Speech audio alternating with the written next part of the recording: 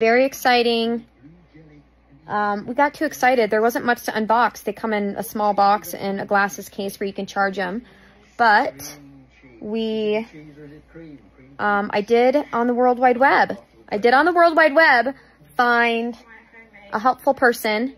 Um, I think he's a consultant with, I think Meta. I don't think he works on the Ray-Ban team. Um, I could be wrong. I'll double check his, uh, looks like. But he's very interested in Kaelyn's senior project. Boom, boom, boom. Ta-da! Just went with...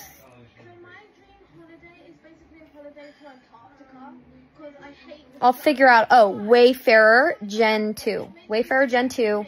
Um, Kaelyn opted with shiny black. Um, and we did the green transition lenses. Now, one of the cool features um, that we won't be able to take advantage of, but for folks that are looking at this, um, I think we get a $30 discount, but I mean, hit me up if you want it. Um, it's, that doesn't even cover taxes with this. Um, but what I will say is you can, they do have partnerships with a couple third party, like prescription lenses that will fit specific models.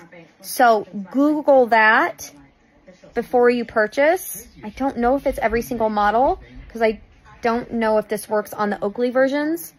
Uh, senior project. Um, but what I will say feature-wise, you can get a prescription with these. So just make sure that you buy the right model that'll work with the prescription. And they've got the companies on their website. So pretty easy to figure that part out.